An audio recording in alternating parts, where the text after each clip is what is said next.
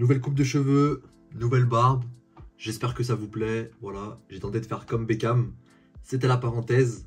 Et yo tout le monde, j'espère que vous allez bien. C'est Ijir pour une nouvelle vidéo. Et je sais que vous avez vu que la vidéo était longue. Mais si elle est longue, c'est simplement parce que j'apporte beaucoup d'analyses techniques. Vous allez voir de toute façon tout au long de la vidéo. Mais j'apporte beaucoup d'analyses techniques et c'est quelque chose qu'on n'a pas sur YouTube. Et j'aurais aimé le voir bah, quand j'étais euh, arbitre auparavant. Donc voilà, quand je débutais l'arbitrage. Ça faisait longtemps qu'on n'avait pas parlé d'arbitrage. Donc déjà, bah, je vous remercie pour vos commentaires euh, sur ma vidéo qui avait plutôt bien marché, 24 000 vues. Et le nombre de commentaires qu'on m'avait donné, bon, vous étiez un peu frustré du fait que je ne montrais pas assez d'images du terrain, ce que je comprends tout à fait. Mais voilà, il y avait des problèmes techniques, etc. Et j'ai préféré vous faire une vidéo bah, immersion plutôt que rien vous faire du tout. En tout cas, voilà, je tenais à vous remercier bah, pour euh, vos retours, les questions que vous avez pu me poser en commentaire et bah, le fait de m'avoir réclamé justement plus de vidéos par rapport à l'arbitrage. Juste petit disclaimer, les analyses que je vais vous faire, ce sont bah, les miennes. Donc euh, peut-être qu'on aura des discords avec euh, d'autres personnes, vous ne serez pas d'accord avec ce que je dis, ou d'autres personnes ne seront pas d'accord avec moi, mais en tout cas, c'est mes analyses, elles me sont propres, et en aucun cas, ce n'est une vérité générale. Donc voilà, j'ai eu l'occasion d'arbitrer un match de niveau 17 nationaux. Sur ce, commençons l'analyse. Donc j'arrête de suite la vidéo pour juste vous parler bah, de positionnement de l'arbitre. Donc là en l'occurrence, bah, je suis placé à 7 heures. En gros, si on imagine que le rond est une horloge, on imagine que là du coup c'est 9 heures. Là c'est 8 heures et là c'est 7 heures. Voilà, entre 7 et 8 heures on, se place. C'est une convention. Donc euh, voilà, histoire de pouvoir, euh, de pouvoir débuter la rencontre. Adja C'est bon? Allez bon match messieurs J'espère que vous aimez bien le petit visuel en haut à gauche, fait par mes propres soins. Donc voilà, ici, et je le dis moi-même, je suis loin. Je suis loin, bah pourquoi je suis loin? Parce que bah on a une action qui se déroule là, et on voit bah, que le départ du ballon était... Voilà, on ne voit toujours pas à l'écran, alors que normalement je devrais déjà être dans cette zone-là. C'est-à-dire que, heureusement pour moi, j'ai réussi à rattraper mon retard par ma vitesse. Et heureusement aussi qu'il n'y a pas eu de duel dans cette zone-là. Sinon, bah, ça aurait été problématique. Mais en l'occurrence, bah, ça n'a pas eu d'incidence. En tout cas, j'étais trop loin. Ah, j'en profite, pour faire mes petits rappels. En général, les joueurs aiment bien jouer avec les mains, surtout sur les corners. Et on essaie d'éviter ça au plus vite. Donc, euh, on utilise bien la voix. Alors, au niveau du but, vous me voyez bien observer en fait ce qui se passe. C'est tout simplement pour être sûr, voilà, on est sur le début du match, euh, voilà, il marque après une minute, le FC Lyon. Mais en l'occurrence, le but c'est d'être en alerte dès le début pour être sûr qu'il n'y ait pas de, provocation de la part du FC Lyon à un joueur de Bourg-en-Bresse, etc. Même si le match a été bon esprit. Hein. Mais le but c'est d'être en permanence en alerte et d'analyser la situation dès, le début du match. Donc, euh, histoire d'avoir de prendre la température sur, euh, sur le reste de la rencontre.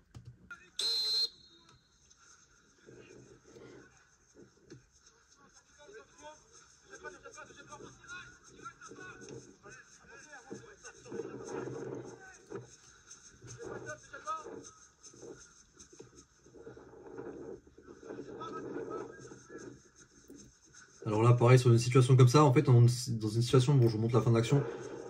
Là, vous dites, bon, bah très bien, il est bien placé, etc. Mais, imaginons qu'on revienne un peu en arrière et que le gardien, bah, qu'il y a un joueur qui arrive en opposition, donc le, gardien de Bourg-en-Bresse, un joueur qui arrive en opposition, bon, on ne voit même pas à l'écran, c'est-à-dire que je suis encore plus loin là, sur la, sur la droite. Donc là, si on a un joueur, bah, le joueur qui touche, bah là, il faut que je sois là au plus proche, parce qu'imaginons qu'il y a une situation de penalty ou quoi, je la verrai pas. Et là, on est sur une problématique en tant qu'arbitre, c'est que d'un côté, on doit s'économiser, parce que là, on est déjà à deux minutes et j'ai déjà eu à faire euh, quelques courses. On est entre s'économiser et être bien positionné pour pouvoir voir le mieux possible le ballon. Donc voilà, donc là, j'ai fait le choix, moi en tout cas, de faire entre guillemets confiance au gardien pour me dire, il va la relancer. Mais il faut être en permanence en état d'alerte, puisque bah, je peux pas m'économiser tout le match non plus. Euh, il faut être présent sur les actions euh, litigieuses. Et, et voilà, le fait d'être bien placé, c'est quelque chose d'important. Donc il faut jouer entre les deux en fait. Donc là, au final, il dégage bien. Donc je suis au final bien placé, puisque par la suite, voilà, je vois la touche et je la signale. vous êtes Sans les mains, sans les mains, on les enlève Il n'y avait pas trop de mains euh, de la part des joueurs ou quoi. En fait, le, fait d'utiliser ma, ma, voix, ça permet deux choses. Premièrement, de me montrer, montrer de la présence, donc dire aux joueurs que je suis là, ne vous inquiétez pas. Euh, tout ce que, même si vous ne me regardez pas, je suis présent. Et deuxièmement, c'est des habitués à ma voix. Enfin, en tout cas, c'est quelque chose qui m'est propre. Mais j'essaie d'habituer les joueurs à ma voix pour qu'ils se disent, euh, si par exemple il y a un supporter qui crie ou quoi, qu'ils s'habituent uniquement au fait d'entendre ma voix. Donc c'est pour ça que j'essaie de mettre de la voix et leur, euh, bah, leur rappeler qui est l'arbitre. Sans les mains, sans les mains, on les enlève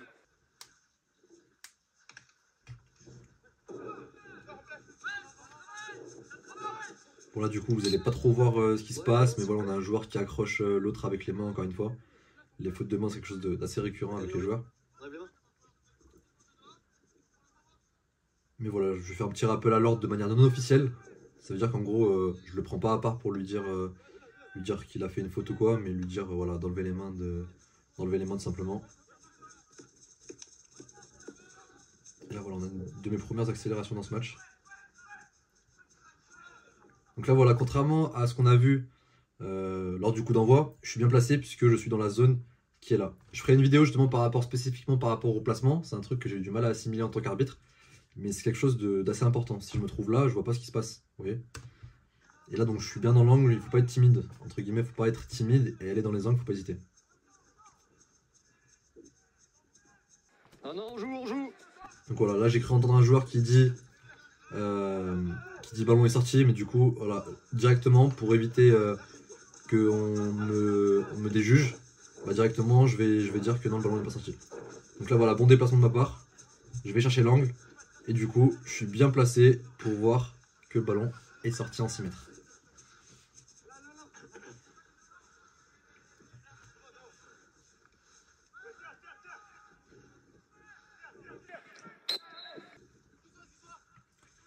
Donc là, bah, vous avez vu, hop, petite faute du joueur.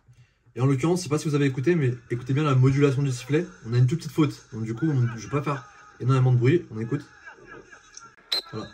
Le petit coup de sifflet, pourquoi? Parce que en tant qu'arbitre, le but c'est de communiquer avec tout le monde.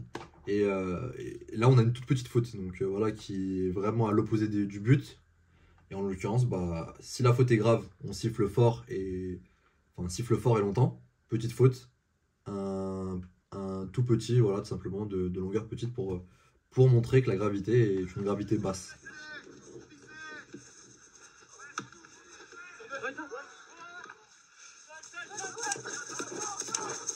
Et là voilà, encore un sprint, donc voilà pour que vous, vous voyez un peu la gestion euh, des courses. Là voilà, on a une faute, je la détecte. À l'avantage Je laisse un avantage, je me suis dit que ça pouvait être potentiellement un avantage intéressant, mais bon, le défenseur est revenu par la suite. Là, vous êtes vous. Donc là, on est revenu à la faute. Un ballon arrêté comme Et pareil, donc là, vous me voyez ne pas utiliser sifflet simplement pour donner de l'importance au sifflet. Au lieu de siffler pour reprendre le jeu, j'ai directement au joueur, allez, jouez quand vous voulez, afin de pouvoir bah, donner encore plus d'importance au sifflet. Je l'ai vu, c'est tout à l'heure, c'est là, ok? Et j'en profite pour dire aux joueurs que voilà, j'ai vu la faute. Donc, euh, Un ballon arrêté Manière- comme vous voulez. une manière de dire aux joueurs que euh, effectivement il y avait faute sur lui mais je n'ai pas sifflé et lui donner la raison. Parce que peut-être qu'il se dit, euh, enfin il a peut-être pas compris et moi je veux être sûr qu'il ait compris le fait que j'ai bien vu ce qui s'est passé. Et donc j'en profite lors de mon replacement, il se replace lui aussi Je l'ai vu, c'est tout à l'heure. à droite pour lui dire euh, ce que j'allais dire.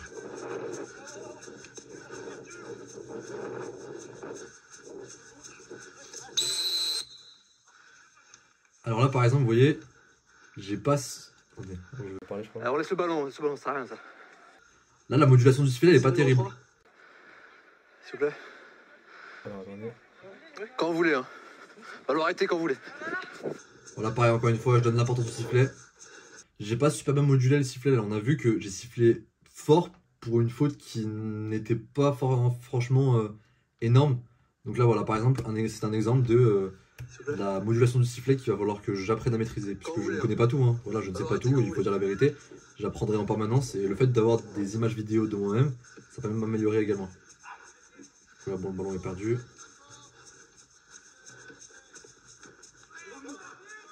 Hop, là j'ai le joueur qui se fait accrocher, il tient, il tient, il tient. Voilà. On va ici, messieurs. Et là du coup je reviens, Eh oui. faute sur lui, donc incontestable. Donc on revient à la faute s'il directement. vous plaît, ici. Bon je sais que la qualité d'image elle est pas super, mais bon l'avantage c'est qu'on a un bon audio par contre, on entend bien. Donc vous voyez bien ce que je dis en tout cas.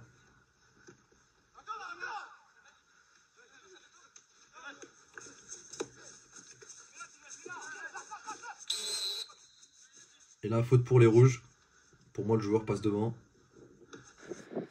C'est bon, numéro passe 6, devant bon et du coup il se fait, euh, Ah, il se fait attention, crocheter. Il se fait crocheter par le joueur bleu. Bleu. Voilà, tout simplement.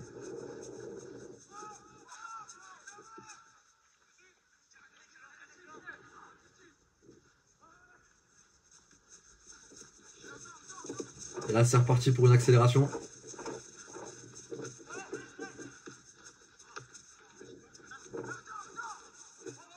Encore une autre. Voilà.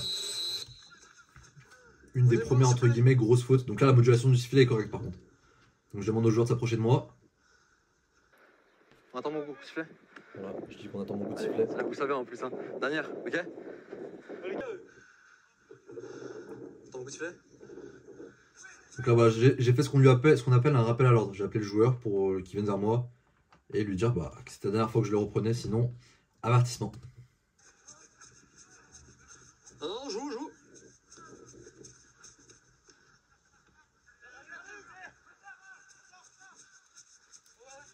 Alors là, j'ai vu qu'il y avait une faute. Allez, avantage, messieurs Et là, bon, vous vous dites, ok, super, il a mis un avantage. Mais au final, c'est un avantage qui sert à rien puisque derrière, euh, je siffle directement. Là, ce qui aurait été plus pertinent, en l'occurrence, j'ai voulu le laisser jouer parce que j'ai vu que le joueur, bah, euh, voilà, voulait absolument se relever, etc. Mais au final, euh, là, j'aurais dû entre ce qu'on appelle sécuriser, enfin, faire ce qu'on appelle sécuriser son arbitrage, puisque le joueur, enfin, là, il n'y avait pas grand chose à apporter euh, d'un point de vue d'un avantage. Donc, voilà, directement venir à la faute, siffler et, et on reprend le jeu directement. Pardon, reviens celle-là.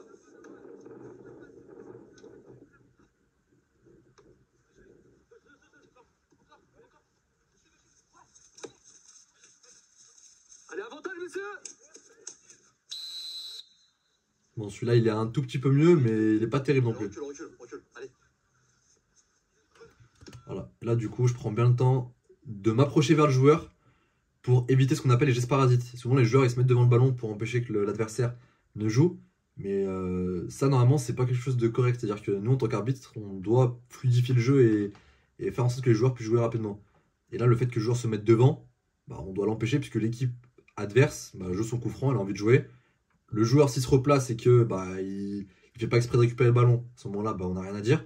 Mais là, en l'occurrence, il fait exprès de se mettre devant. Donc euh, voilà, c'est pour ça que j'ai fait gaffe à ça et que je m'approche directement du joueur sans le toucher. Bien entendu, on ne touche pas les joueurs, les joueurs ne touchent pas. Donc euh, principe de réciprocité. Et euh, on reprend directement par le coup franc.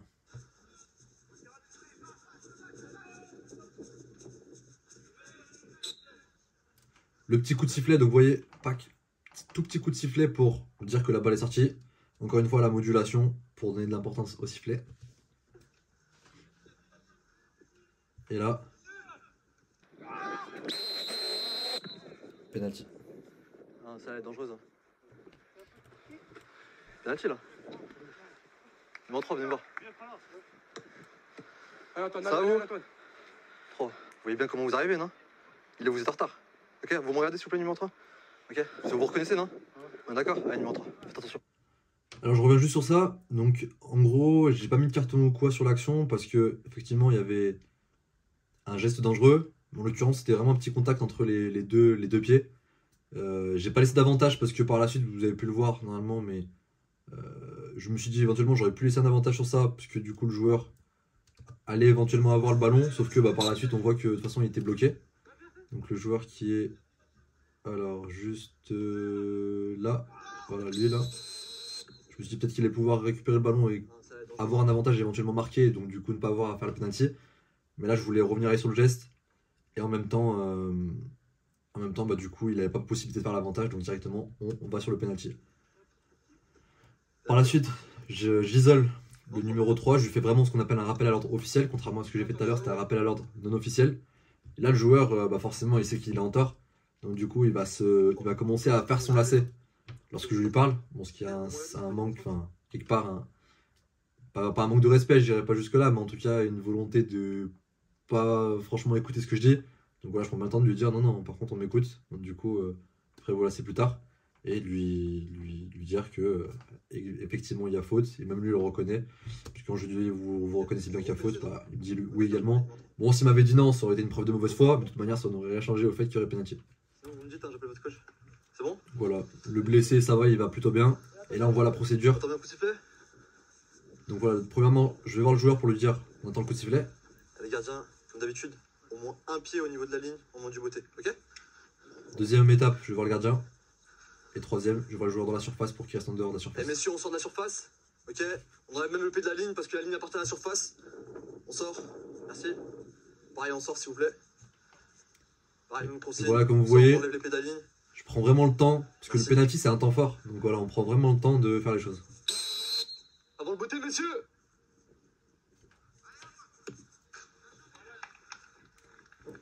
Et là, je reviens juste sur le penalty. Là, en fait, ce qui est dur, en tant qu'arbitre, vous vous dites, ouais, bah, de toute façon, c'est un penalty, facile, euh, tout, est facile. Mais sauf qu'il y a beaucoup d'éléments de notre côté qu'on regarde. On doit, et c'est compliqué. On doit regarder la première zone qui est là, la deuxième zone qui est là, les joueurs également qui sont là. Donc, en gros, tous les joueurs qui peuvent pot- potentiellement rentrer dans la surface. Le tireur, vérifier qu'il ne fait pas de feinte illégale, c'est-à-dire qu'il ne va pas marquer un temps d'arrêt sur son penalty. Et troisièmement, vérifier que le, enfin, le gardien est au moins un pied sur sa ligne. Et ça en étant tout seul. En plus, voilà, si les joueurs rentrent, c'est des joueurs bleus qui rentrent et que le bleu marque, le penalty euh, bah, est à retirer. Si euh, c'est les joueurs rouges qui rentrent mais que le bleu marque, enfin bref, tous ces, cas-là, que je ferai dans une autre vidéo sûrement, euh, tous ces cas-là, il faut les connaître par cœur. Et tout ça, dans le cerveau, il faut réfléchir super rapidement. Et en plus, on n'a pas la VAR ou quoi, donc euh, forcément, c'est des éléments qu'il faut prendre en compte. Donc voilà, c'est juste pour l'anecdote. Ça pour dire que, en tant qu'arbitre, un penalty, bah, c'est pas une situation facile. Voilà, comme toutes les autres, hein, mais c'est pas une situation facile puisqu'on doit être, on doit avoir les yeux partout. Donc on repart pour la suite.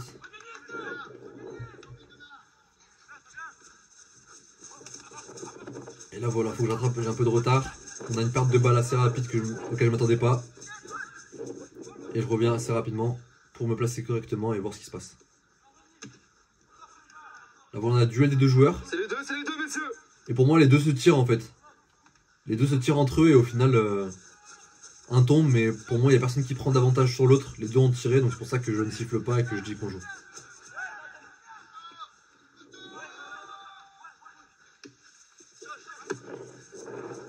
Et là, bon, même si sur cette, action-là, je m'en veux un peu. Parce que du coup, là, on a ce joueur-là qui, qui, bah, qui est victime d'une faute. Voilà, on le voit tomber par la suite. Et du coup, je laisse parce que j'estime que, voilà, on- il y a quelque chose, un- une sorte d'avantage que je n'ai pas signalé à faire. Et là, sur celle-là, sur cette passe-là, bah, on a le joueur qui rate sa passe, donc ça aurait été plus intéressant d'avoir le coup franc. Mais en l'occurrence, ça fait déjà pour moi trop de temps pour pouvoir revenir sur une faute derrière. C'est-à-dire que je ne veux pas attendre non plus qu'ils aillent marquer le but ou pour de voir s'ils marquent ou pas pour euh, dire si euh, je reviens sur la faute ou pas. Mais en l'occurrence, c'est potentiellement une faute de ma part de ne pas avoir sifflé euh, la faute sur le, le joueur là.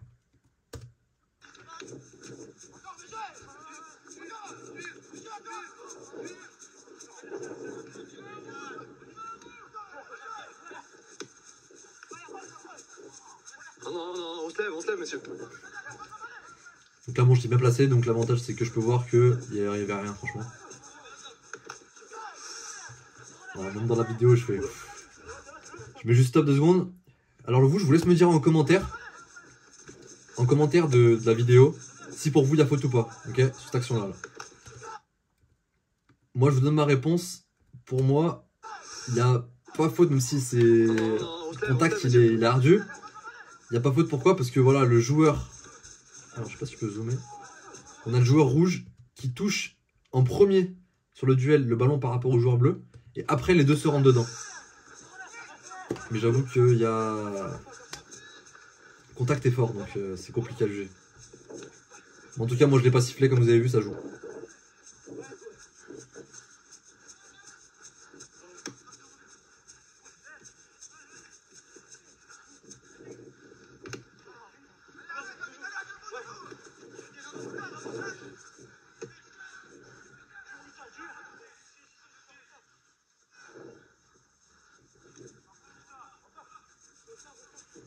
Et voilà, cette action-là, par exemple, j'étais trop. Enfin, pas que je, je sois timide en, en temps normal, sinon je ferais pas des vidéos, mais j'étais trop timide dans la mesure de mon comportement en fait. Vous voyez que là, j'aurais dû, j'aurais dû être plus par là, vous voyez. Je vois pas très bien ce qui se passe. En, en l'occurrence, bah, je sais qu'il y a corner, mais je suis pas assez bien placé. Là, on a le. Tout se passe hein. dans cette zone-là, donc autant y aller. J'aurais dû y être.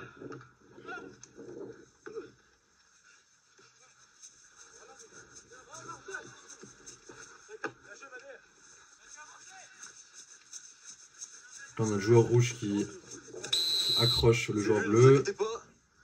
Je reviens à la faute. Ballon arrêté, s'il vous plaît. Ballon arrêté. Donc là, je, je le préviens en avance, c'est-à-dire que j'évite des situations conflictuelles. Je préviens bien en avance du joueur.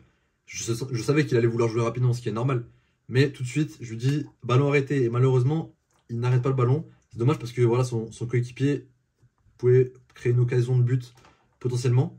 Et le fait de ne pas avoir pris en compte le fait de, de lui dire ballon arrêté, c'est dommage. C'est dommage parce qu'il aurait pu avoir un bel avantage ici. Après bon, il a été effectué correctement, rien à dire. Mais dommage de, de rater cette opportunité-là.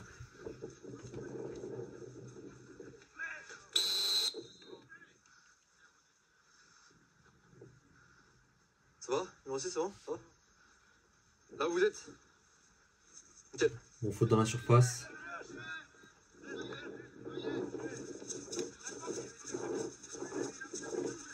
À l'avantage, messieurs Je, la- je laisse l'avantage parce que le joueur a été accroché, même si le rouge tombe, bah, le joueur bleu a été accroché.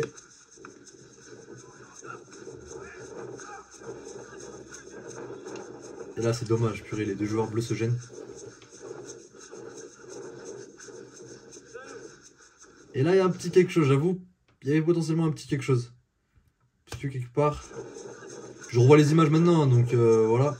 Mais euh, c'est vrai qu'on a le joueur rouge qui se désintéresse un peu du ballon, selon moi. Pareil, dites-moi ce que vous en pensez. Ça, peut siffler.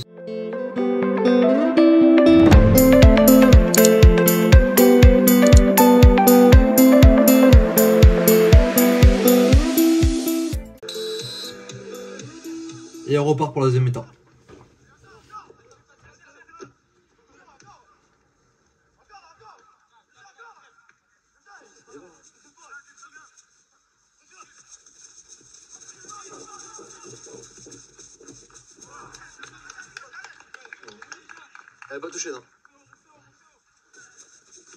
Bon, elle était pas touchée. J'avoue qu'à l'écran, on dirait qu'elle est touchée, mais je suis sûr de... je sais que lors du match, j'étais sûr de mon choix. Donc là, voilà, je suis bien placé. Je suis bien placé pour voir ce qui se passe. On a allé chercher dans les angles.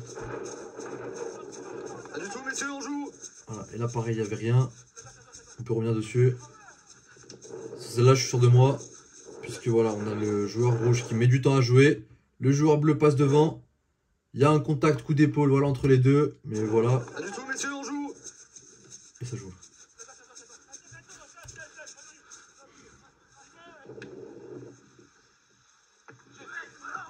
Regardez bien celle-là. hein. Regardez l'accélération que j'ai dû faire.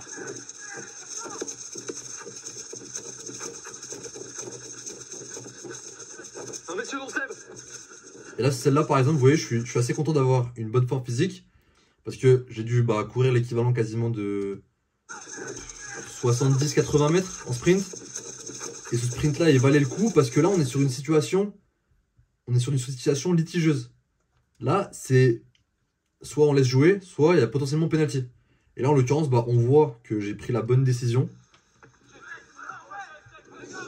On voit que j'ai pris la bonne décision puisque c'est le joueur bah, bleu qui touche d'abord le ballon. Il emmène lui bien entendu le corps, mais c'est le ballon qui est touché. on Et vous voyez, donc là, l'avantage, c'est que personne ne me conteste. On aurait, on pu me contester éventuellement si j'avais été plus loin. Mais là, en l'occurrence, je suis plutôt proche de l'action. Donc, euh, on peut pas me contester. En tout cas, j'ai la, j'ai la vision de jeu et le, la distance nécessaire pour pouvoir dire ou non s'il y avait effectivement penalty ou pas. Donc là, c'était pas le cas.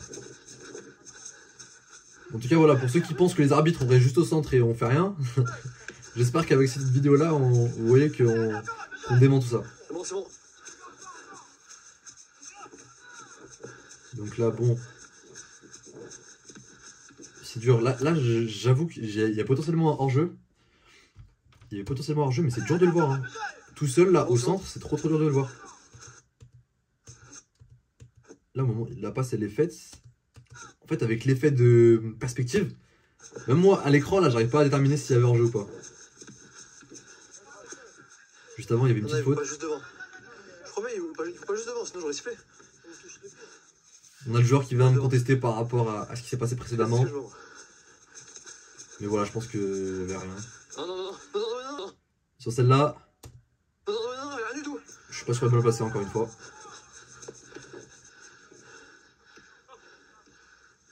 Par contre, sur celle-là, je suis mieux placé parce que par rapport à mon angle de vue, je vois clairement qu'il y a corner. Mais sur la première, dur de, dur de dire euh, à l'heure actuelle s'il y avait quelque chose ou pas.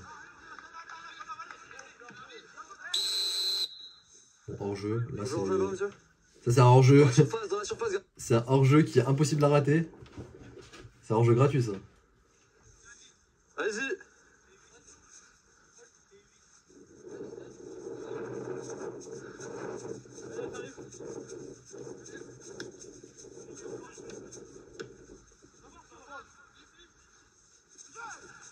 Alors là pareil, purée, je suis loin. Là je suis super loin.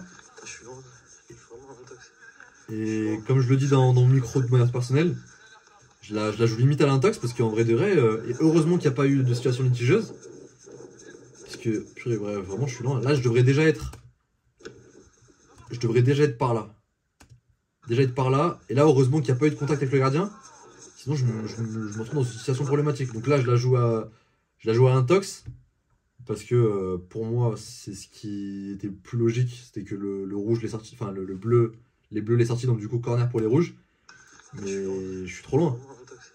Et c'est pour ça que la condition physique c'est quelque chose d'important. C'est bien de pouvoir faire un, deux sprints, mais il faut pouvoir euh, gérer sa condition physique. C'est pour ça qu'on s'économise en tant qu'arbitre. Mais il faut être présent dans les moments forts. Et là c'était un moment fort. Heureusement que j'ai pas eu. euh, Il n'y a pas eu de situation litigieuse. Mais, mais voilà, en tout cas, important de s'économiser et d'avoir un bon cardio. Ah oui, par ailleurs, position sur le corner. Là en l'occurrence, j'ai pas d'assistant sur le match. Du coup, je me place au premier poteau. Comme ça, je vois tous les duels. Si par contre j'avais été, bah, j'avais eu un assistant, euh, il aurait été de l'autre côté. Ici, bah du coup, je me serais mis pour un corner ici, je me serais mis là, et pour un corner, bah de l'autre côté, bah je me serais mis euh, sur le deuxième poteau.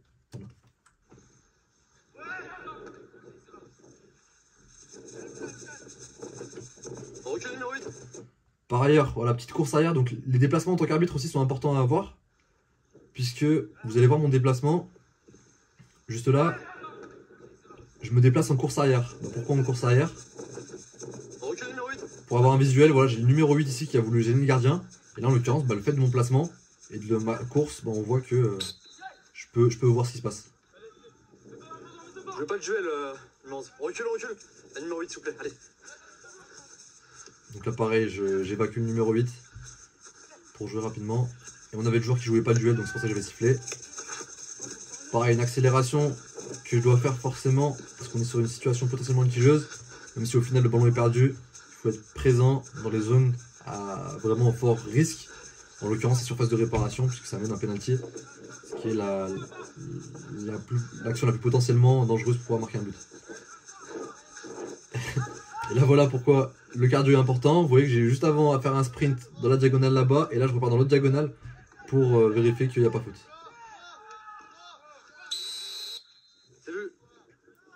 Bon, là, du coup, le joueur n'a même pas le ballon, et l'autre, bon, il le voit pas, mais il, il le fauche. Ah, c'est bien, vous êtes excusé, c'est bien, merci. Il s'est excusé, donc voilà, je- j'en voulez, profite pour dire aux joueurs. On, on discute avec les joueurs hein, en tant qu'arbitre. euh, tant que les gens restent cardio avec nous, on peut discuter, y a pas de problème.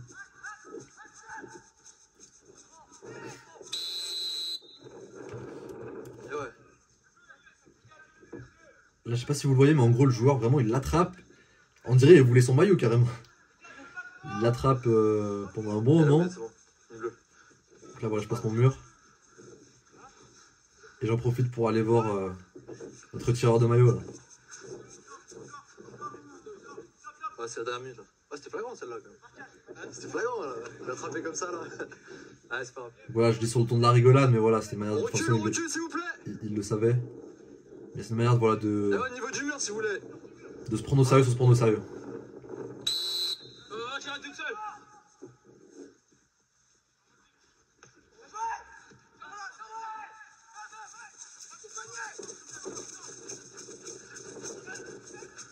Donc là, voilà, pour moi, on laisse l'avantage et on revient à la faute. Parce qu'en l'occurrence, on a une petite, un petit attrapage du maillot de la part du numéro 5. Et d'ailleurs, là, par exemple, c'est une erreur de ma part de ne pas l'avoir ou averti ou faire un rappel à l'ordre. Mais en l'occurrence, bah, l'avertir, ça aurait été une bonne chose puisqu'on est sur la fin du match. Faire un rappel à l'ordre peut-être une minute avant la fin du match, je sais pas si c'est vraiment un truc pertinent. Bon là je touche le ballon parce que le ballon m'arrive dessus mais sinon je n'ai pas touché le ballon normalement. Là je plaçais le mur mais là du coup les, les bleus l'ont joué rapidement. Donc euh, ça me pose pas de problème.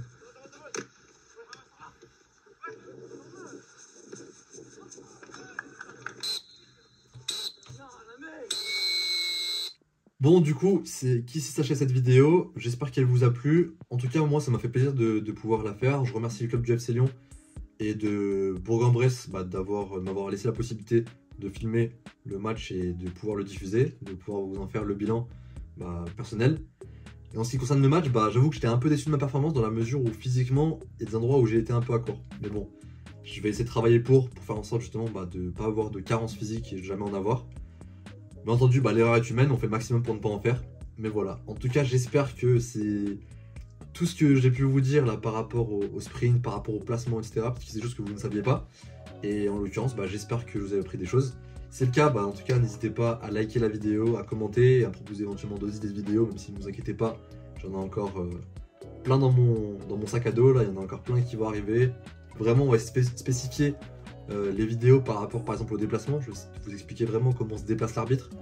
Vous expliquer également les lois du jeu, quelles sont les lois les plus importantes. Et euh, voilà, plein de vidéos par rapport à ça, par rapport à la préparation physique et éventuellement arbitrer bah, un autre match euh, en filmant pour faire analyse par la suite. Sur ce, j'espère que la vidéo vous a plu. N'hésitez pas à vous abonner, important. Objectif, bah, les 2000 abonnés, serait bien. On essaie de se fixer au fur et à mesure des paliers supérieurs. Et sinon, prenez soin de vous et allez, ciao